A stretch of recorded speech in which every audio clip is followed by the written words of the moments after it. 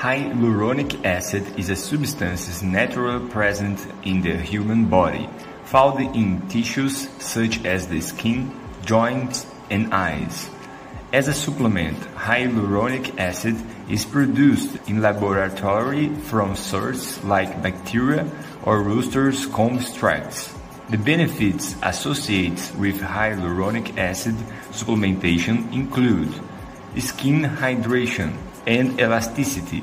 Hyaluronic acid is widely used in skincare products due to its ability to retain moisture and improve skin hydration. This can result in firmer, smoother, youthful looking skin. The second benefit is joint lubrication. Hyaluronic acid is also used as a treatment for joint conditions such as osteoarthritis. It acts as a lubricant and absorbs impact in the joints, reducing friction and associated pain. The third benefit is eye health. Hyaluronic acid is found in large amounts in the eyes, specifically in vitreous humor and tear fluid.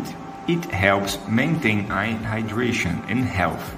In terms of harm, hyaluronic acid supplementation is generally considered safe when used in recommended doses. However, some individuals may experience mild side effects such as redness, swelling, or skin irritation. Rarely, allergic reactions may occur. It is important to consult a healthcare professional before starting supplementation. The best time to take hyaluronic acid supplements may vary depending on the form of consumption. Generally, the recommendations are to follow the manufacturer's instructions or the guidance of a healthcare professional. Regarding the allowed amount for men, women, and children, there is no specific established dose. The dosage may vary depending on the purpose of use, age, health condition, and other individual considerations.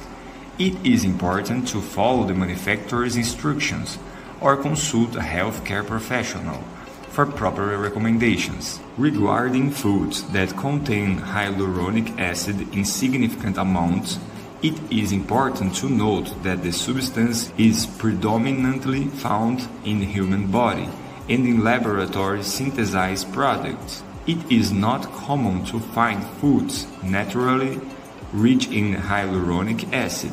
If you enjoyed this video, please give us a like and share it with your friends and family. Thank you and see you soon at the next video.